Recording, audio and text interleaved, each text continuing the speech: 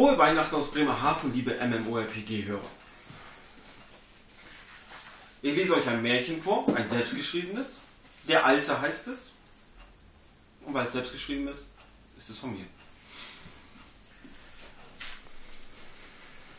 Es war einmal ein alter Mann, der Tag ein, Tag aus auf seiner Bank vor seinem Hof saß und beobachtete, wie seine Felder bestellt wurden. Seine Söhne hatten den Hof längst übernommen nur leider fand der Alte keinen Platz mehr, ihm zu helfen.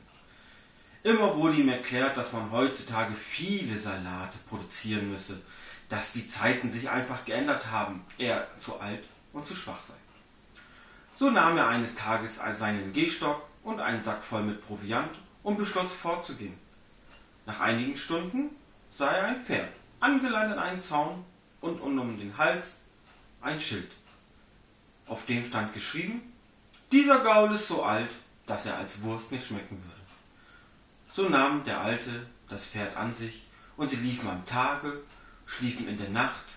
Wenn sie durstig waren, tranken sie, und wenn sie hungrig waren, aßen sie das, was ihnen die Natur bot.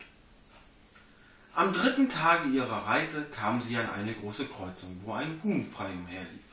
Dieses trug auch eine Nachricht mit sich, in der geschrieben stand, dieses Huhn ist seines Futters nicht wert zu mager für die Suppe, zudem legt es nur noch ein Ei die Woche. Der Alte nahm auch dieses Geschöpf an sich, da es ja auch wertvoll war.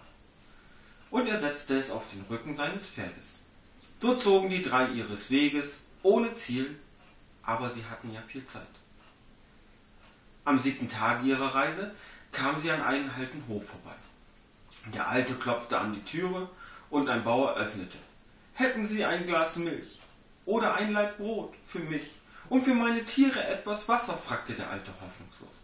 Doch der Bauer erwiderte wütend, Schaut euch meine Felder an. Hier wächst schon seit Jahren kein Korn mehr. Selbst meine Tiere sind verdurstet und bevor ich es ihnen gleich tue, ziehe ich in die große Stadt und suche mir Arbeit. So zog der Bauer seines Weges und ließ seinen Hof zurück. Der Alte ließ sich mit Pferd und Huhn auf diesen nieder. Er reparierte Haus und Ställe, und sogar den alten Flug, den er fand. Mit all seiner Erfahrung bestellte er die Felder ohne Eile, denn er hatte ja viel Zeit. So wuchsen mit der Zeit die Salate, saftig grün und groß wie Melonen, und selbst das Huhn begann wieder fleißig Eier zu legen. Nach der Ernte beschloss der Alte, seine mit Liebe und Erfahrung gezogenen Salate und die wunderschön großen, strahlend weißen Eier auf den Markt in der Stadt zu verkaufen. Er spann das Pferd vor den beladenen Wagen, setzte das Huhn auf seinen Rücken, und so fuhren die drei in die große Stadt. Dort angekommen sah er hektisches Treiben und Händler mit Bergen von Früchten, hoch wie er maß.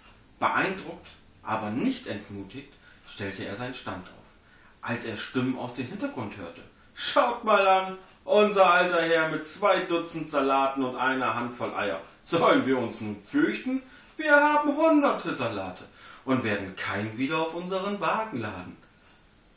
Es waren dem Alten seine Söhne, die ausgerechnet auf den gleichen Markt ihre Salate verkauften. Diese gingen laut lachend zu ihrem Stand, doch der Alte war unbeeindruckt von dem Geschwätz seiner Brut und platzierte seine Salate jeden einzeln und liebevoll auf seinem Verkaufstisch. Was für schöne Salate haben Sie, mein Herr. Ich hätte gerne ein, sagte eine Dame mit braunem Mantel und rotem Kopftuch. Ein anderer rief, und schaut euch diese strahlend weißen Hühnereier an. Ich will gleich zwei. Das hörten auch viele andere, und nach kurzer Zeit waren alle Salate und alle Eier verkauft. Da staunten die Söhne nicht schlecht.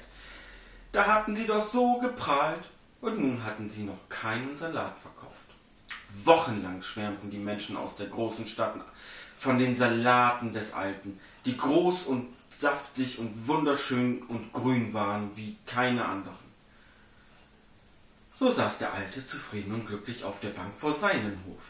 Das Huhn pickte Korn und das Pferd graste auf dem Feld, während seine Söhne wohl wieder hektisch ihre Felder bearbeiteten.